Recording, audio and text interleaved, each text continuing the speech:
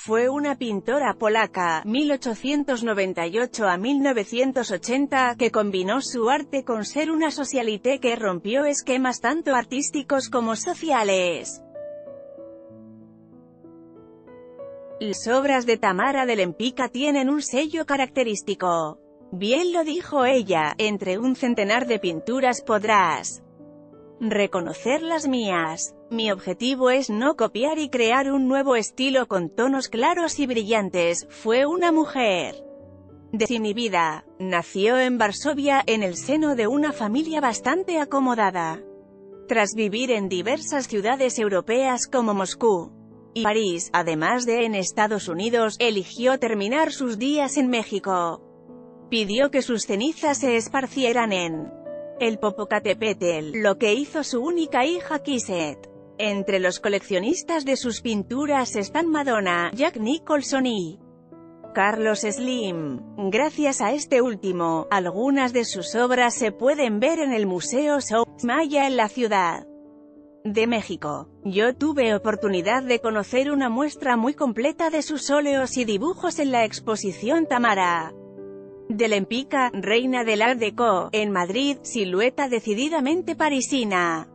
Dos ojos claros penetrantes, cabello rubio y nariz griega, ligeramente curva, estatura considerable para una mujer, vestidos fabulosos, pieles carísimas. Su mera presencia despierta curiosidad.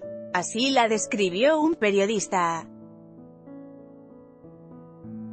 Fue amiga de Salvador Dalí, Greta Garbo y muchos otros famosos de su tiempo. Sus pinturas de mujeres, tanto retratos como desnudos, son las que más fama le han dado. Sin embargo, también supo captar el dolor de la guerra. La belleza de unas flores y la beatitud de santas y vírgenes. Desde 1922 su obra se ha expuesto en diversas exhibiciones individuales y colectivas a ambos lados del Atlántico. Me resultó interesante saber que ella tomó clases de pintura como una manera de tener ingresos cuando su primer marido tuvo un revés financiero importante. Se volvió rica y famosa. Retrató a científicos, escritores, intelectuales y miembros de la nobleza europea exiliada. Cuando estalló la Segunda Guerra Mundial dejó Europa y se instaló en Estados Unidos con su segundo marido, el barón Raúl Kufner.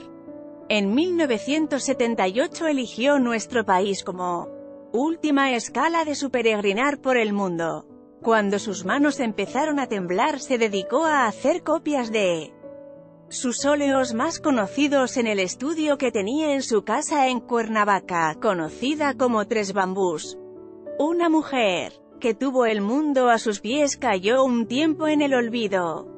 Pero su vasta obra, esparcida en diversas colecciones particulares, sigue hablando por ella. Cualquier comentario relacionado con este artículo, favor de dirigirlo a mestrada@elsoldemexico.com.mx.